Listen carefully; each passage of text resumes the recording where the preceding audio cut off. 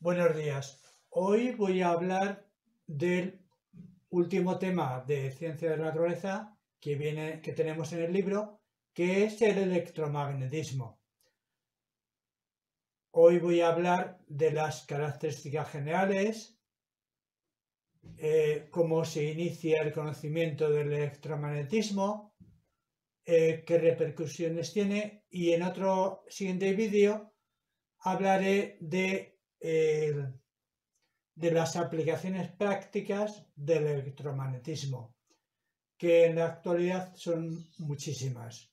Bien, si empezamos con la idea de lo que, de lo que es el electromagnetismo, tenemos que remontarnos a la antigüedad porque ya desde mm, hace muchos siglos se conocía que había unos mineral, un mineral al cual se le dio por nombre magnetita, que tenía una característica peculiar, que era que atraía a, otros cuerpos metálicos. Eh, a partir de ahí, después de estudiarlo, se llegaron a las siguientes conclusiones, que en cada parte de esa magnetita al cual le llamaron, le llamamos imán, eh, se formaban, se podían distinguir como dos polos en los extremos. A uno le llamamos polo norte y a otro le llamamos polo sur.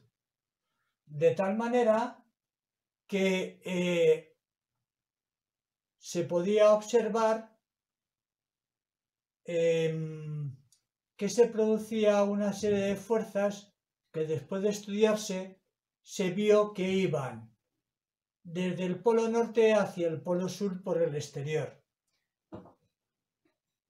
Eso se representa en forma de líneas.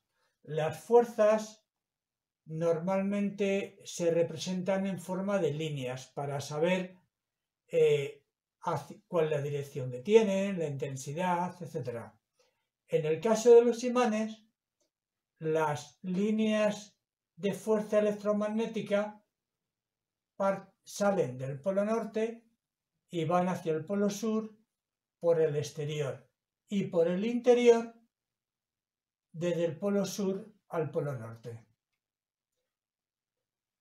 Dependiendo de la la cantidad de líneas que se dibujen, pues se quiere representar que ese campo magnético, que es el conjunto de todas las líneas de fuerza, eh, tiene ese imán. Cuanto más líneas tiene el campo magnético, el imán es más potente. Eh, bien, los imanes, decía que se observaba que tenían algunas características, como por ejemplo que cuando un imán se partía, no se quedaba dividido por un lado en polo norte y por otro lado en polo sur, sino que en cada trozo de ellos se formaban en el interior, se concentraban las fuerzas de atracción en los extremos, de tal manera que en cada trozo de imán se convertía en, en un nuevo imán, que por sí mismo tenía un polo norte y un polo sur, y sus líneas de fuerza las podemos dibujar así.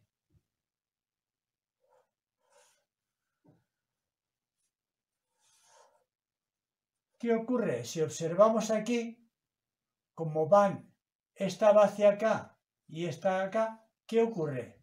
Que las fuerzas de distinto signo se atraen.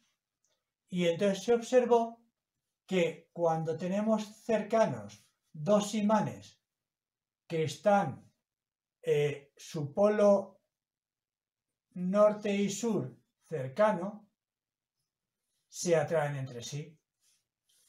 Sin embargo, si esos dos imanes los acercamos por, sus, por el mismo polo, resulta que se repelen.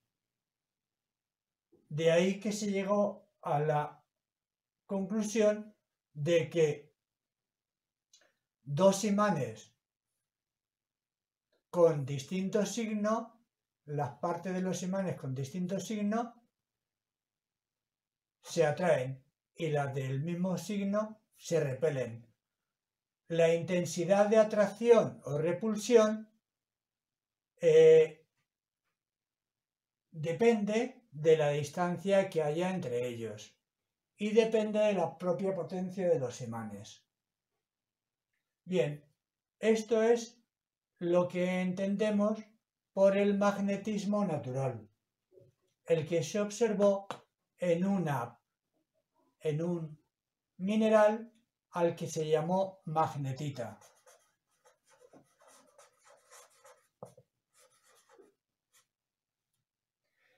También se observó que eh, cuando se dejaba un trozo de imán que pudiera girar sobre sí mismo, eh, siempre señalaba hacia el mismo punto. Se orientaba este trozo de imán siempre en la misma dirección.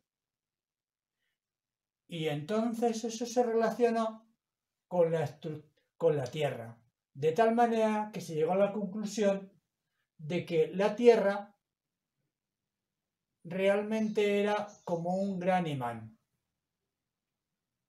con dos polos, polo norte y polo sur. Gracias a, este, a esta observación se pudo fabricar un instrumento llamado brújula que servía para orientarse e indicar y conocer cuál era el norte o el sur eh, desde la posición que yo ocupase en un lugar. De tal manera que al dejar girar libre el imán, siempre el extremo de la aguja, de la aguja imantada se orientaba, se orienta hacia el mismo punto, que es el norte geográfico. Eh, con lo cual, cuando yo tengo una brújula y observo, la coloco en posición horizontal, la dirección de la flecha me señala el norte. En el imán luego puedo dibujar las coordenadas y así delimitar los puntos cardinales. Y así puedo situarme a partir de, una brújula dónde está el norte o el sur de una, del lugar donde me encuentre. Esta característica del magnetismo, llegado el siglo XIX, cuando ya se había empezado a controlar la corriente eléctrica que se había observado en la naturaleza, sobre todo en las tormentas eléctricas, en los, rayos de las tormentas eléctricas, cuando ya se consiguió eh, eh, conducir la electricidad, pues casualmente se observó que al acercar un imán a una corriente eléctrica, a un cable por el cual circulaba la corriente eléctrica, hacía que se modificase la dirección que señalaba esa brújula. Y de ahí se empezó a sospechar de que había una relación entre la corriente eléctrica y el magnetismo.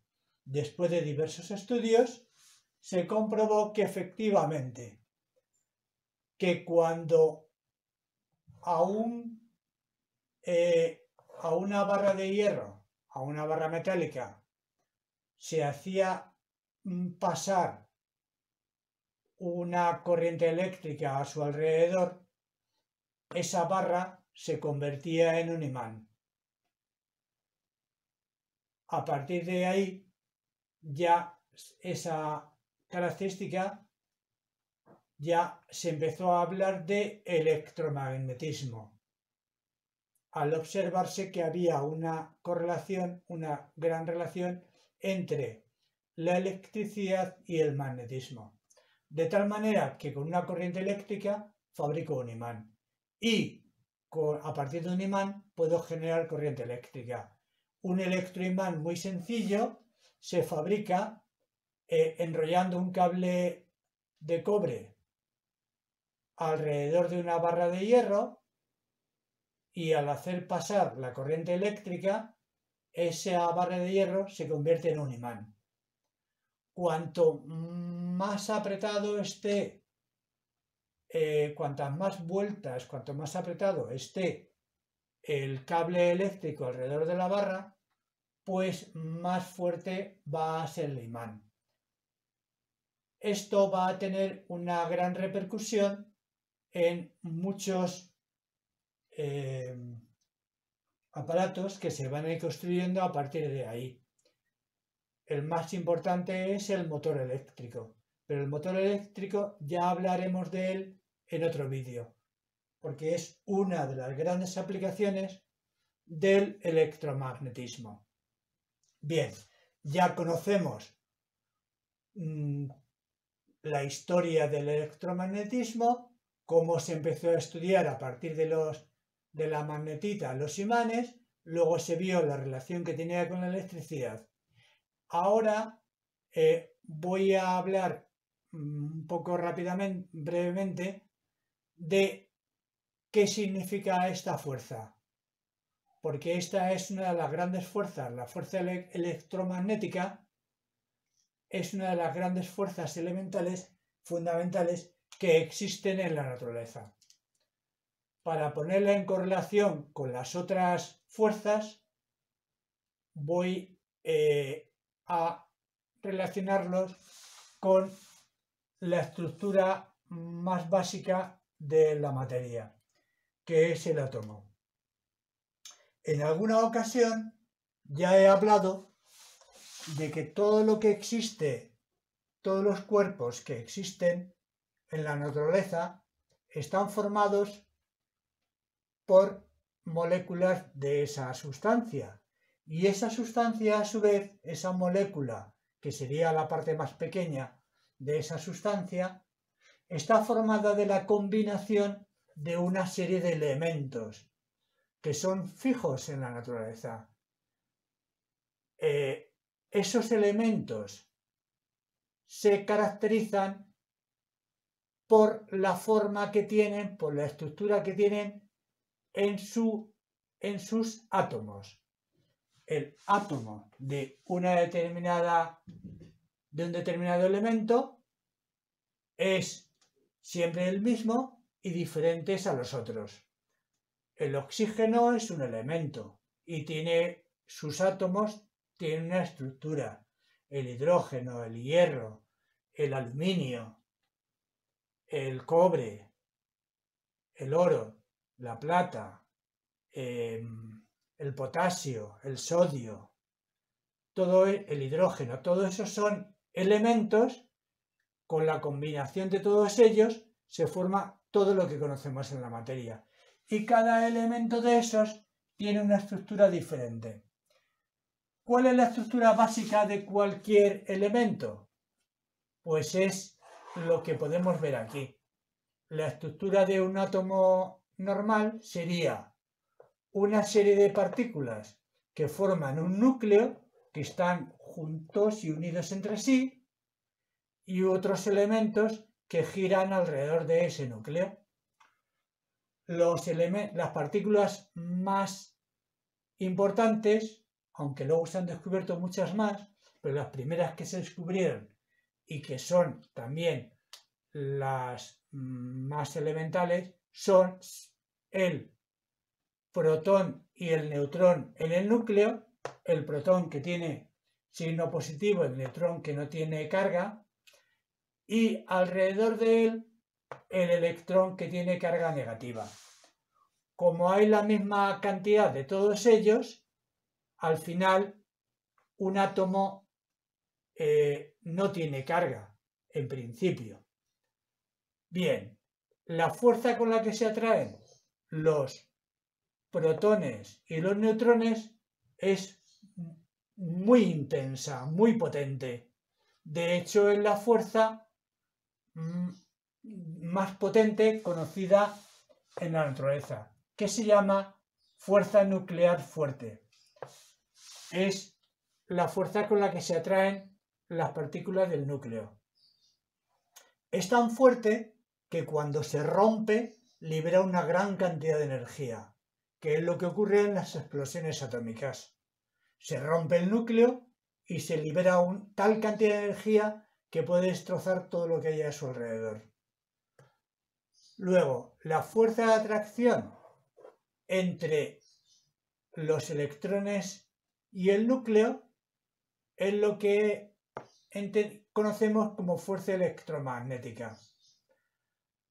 Es más pequeña que la fuerza nuclear fuerte, pero también es muy potente.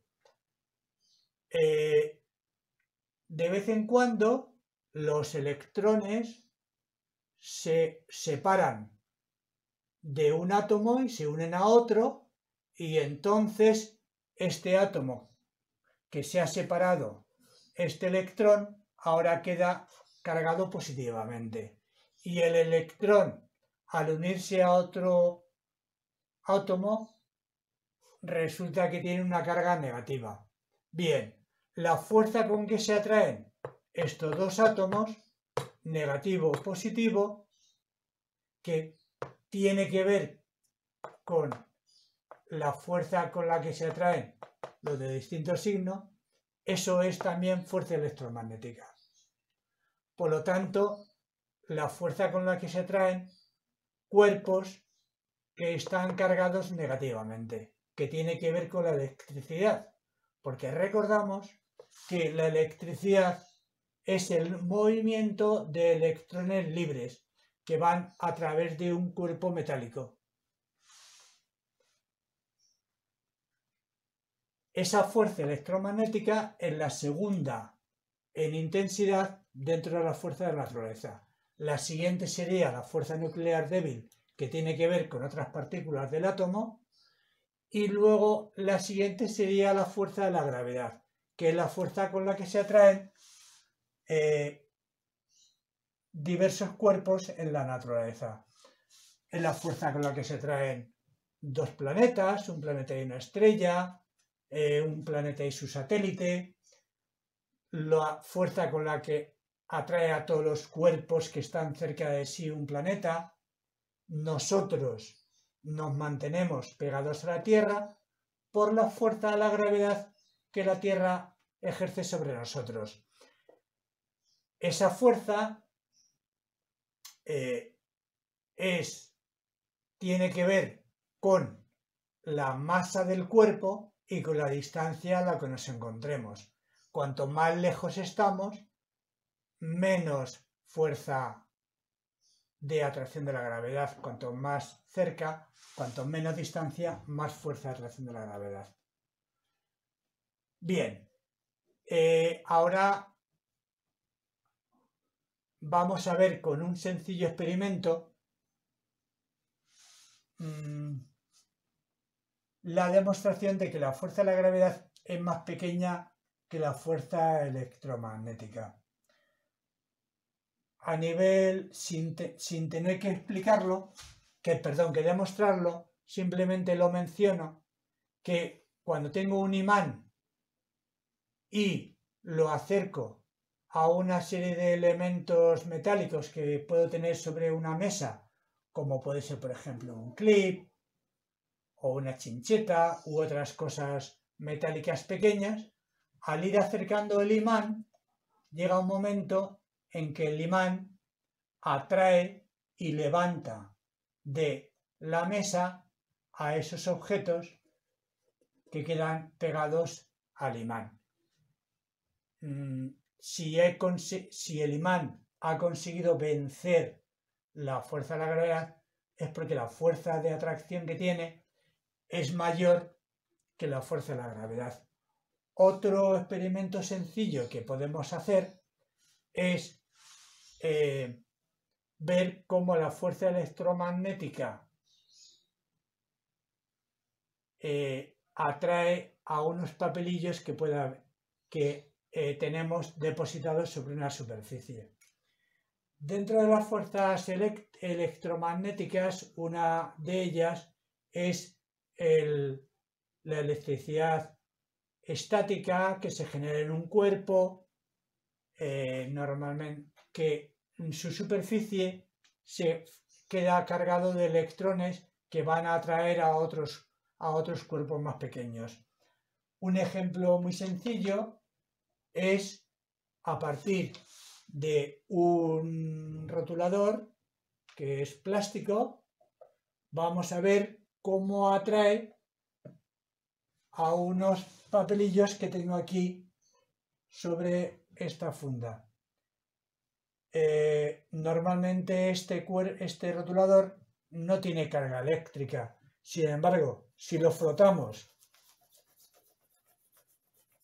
con un tejido sintético, el plástico, la superficie del plástico, queda cargada eléctricamente.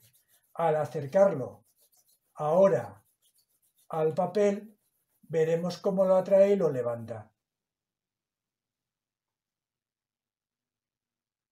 Vemos cómo